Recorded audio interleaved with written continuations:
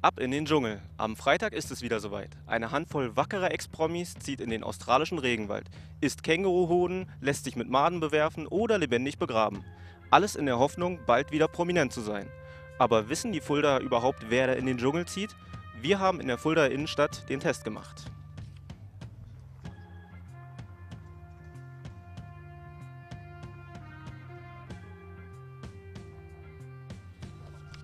Wisst ihr denn, wer das ist? Kenn ich auch vom Sehen, aber ich weiß auch wieder nicht, wie der heißt. Ich auch.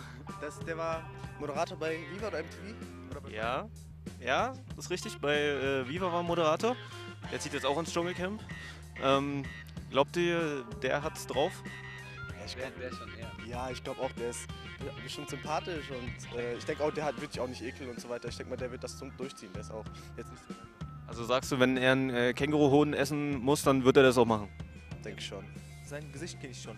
Habe ich schon mal gesehen? Ist dir bekannt? Ja. Glaubst du, dass der in den Dschungel zieht? Glaube ich nicht. Ähm, also gibt es ja so verschiedene Dschungelprüfungen, wie zum Beispiel Maden essen oder sich lebendig begraben lassen. Könntest du dir vorstellen, dass der das macht, dass der das mitmacht? Das kann ich, kann ich mir nicht vorstellen. Wisst ihr, wer das ist? Na, das ist doch der Wendler. Der Wendler. Was Ja. macht er denn? Der singt, der singt. Und was haltet ihr von dem?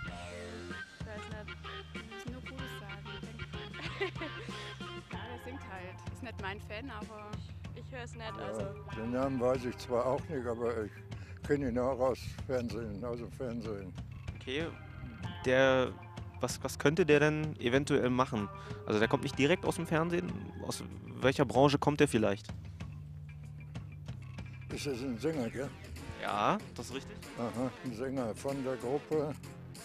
Muss ich mir sagen, Ja. Wisst ihr, wer das ist? Wendler, Wendler, was macht der denn? ähm, Schlagersänger. Okay, was hältst du von dem?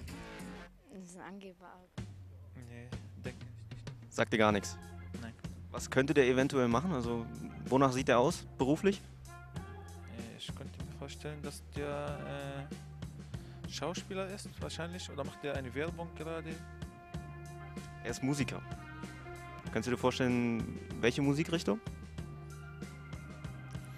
Schlagmusik. Kennt ihr diese Person? Hey, wer ist das denn? Noch nie gesehen? Nein.